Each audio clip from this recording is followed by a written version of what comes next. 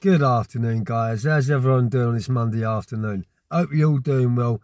Hope you're all in the best of health, best of wealth. Hope you're being the best version of yourself you could possibly be. Welcome to my channel, guys. Joey Barnett TV, where I like to upload as much content as I possibly can, bearing in mind I've got a lot of commitments away from YouTube. Um, you know, we've got our grandson living with us full time. I've got a job uh, I've got quite a few hobbies hobbies going on. So yeah, I do try and upload as much as I possibly can, but family comes first, I'm afraid to say. And um, when it comes when it comes to YouTube, I don't understand how people, you know, expect to earn a good wage out of YouTube unless you've got hundreds of thousands of subscribers, you know, because it's pennies. It really is pennies.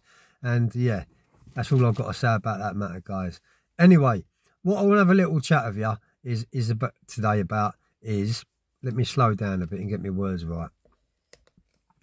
What I want to have a chat with you about is a little bit about prison, a little bit about what would go on in prison if something a certain thing happened or certain things went on or someone come in for a naughty charge. Um, now, not all of us old school blaggers have the same values, but I think you'll find 90% of us probably do. Um, first of all, to be an old school blagger, yeah, you know, you've got to have gone across the pavement, you've got to have gone into a post office, gone into a bank, done security vans. That's what I call an old school blagger, not someone what goes into an off license, a petrol garage, a supermarket, and um, robs money for drugs. That's not what I call an old school blagger, guys. It really ain't. Um, so yeah, that we're um, far and few between these days. Um, and that's why I like uploading content really because I know you guys wait for it. So yeah, I've done really well this year. You know, this year for me has been probably one of the best years in the last 10 years, the last decade, I must admit. You know, I've um, I've got myself a truck. You know, I'm an author. I've got myself back to work again. We've got ourselves our grandson living with us full time. I've got very good friends around me, lovely family, you know, um, and things are going really, really nice in life for me. They really are. And that all boils down to me, myself, wanting to change, wanting to change my mindset, wanting to be the best version of myself I could possibly be. And I'm 55 and I thought to myself, surely I've got to give myself 10 years because I don't live, I don't expect to live past 65, to be honest with you. Uh, my mum and my dad died young. Uh, although I'm healthy, yes, I am healthy, but you know, it's a big ask for me to live 60 past 65. So that's why I decided to change my mindset and to reform myself and, and give myself, you know, a good 10 years of being clean, a good 10 years of living a good life, you know, a comfortable life. And, you know, what I spoke about yesterday on my um, last video, actually, what I done was uh, a lot of youngsters think that the world owes them things, that like the world should drop at their feet. In reality, that don't happen. You know, if you want something, it ain't going to drop at your feet. No one owes you nothing, you know.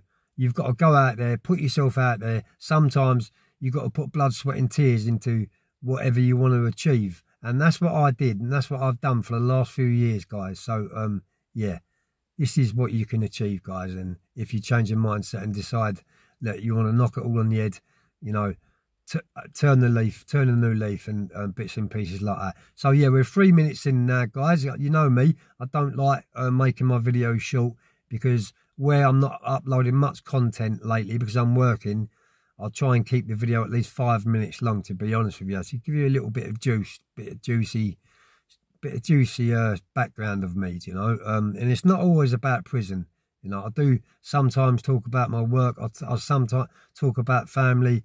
I bring a whole heap of different content to my channel and it's all 110% honesty. It's all 110% no bullshit. Um, I wouldn't talk about someone behind their back, um, you know, without saying it to their face. I'm one of them types of guys, you know. I do wear my heart on my sleeve. Yes, I have got emotions, you know, um, but I'm one of them types of guys. I don't like people that talk behind people's backs. Now, let's get that cleared up. So what I want to have a little chat with you about now is a how, for me, not for all old school old school chaps, but for me, yeah, this is how dispersals worked for me. If you come into a dispersal, you wasn't known, and you know, you couldn't be vouched for. You would have had you would have had to produce your deps, and when I say deps, I mean your sta- your your statements, your previous convictions, um, for you to be allowed to mix with the likes of people like me, you know, because if for me, if someone come into a dispersal jail and I didn't know them or anyone what I knew didn't know them, they was they was a suspect. Yeah, that's how my mindset was, you know, and and I'm still like it today in, in everything what I do, you know. I do talk to people, of course I do. I'm a friendly type of a guy, but I'm I'm a very private guy, and I don't like spilling all my beans and putting all my eggs in one basket. Um, but yeah, talk about dispersal now. So, as I said, if you'd have come in dispersal, not known, you'd have had to produce your deps or statements. If you couldn't do that, you was gone, one of them ones. that's the first thing.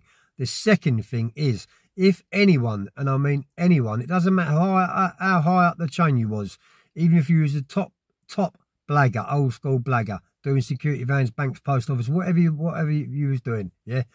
If you come in for harming a woman, a woman, a child, or an elderly person. Now, let me say that again. If you come in jail, in my world, for harming a woman, a child, or an elderly person, me, myself, I would have waited, plotted up on you, got a, a jug of boiling hot water with a pound of sugar in it, and if, you know, then that would have been you. That would have been it. I would have done you with that, you know, back in the day. That's how my mindset was. Um, unfortunately, unfortunately, these days in jail, I'm not going to go into politics about religion and stuff like that, but in jail, it's it's more like a religious war in there now. Um, it's us against them. It's them against us. It's you know that's how it's getting in there now. So it's a very very changed place. Ain't like it used to be. It really ain't. And what I'm trying to say is, um,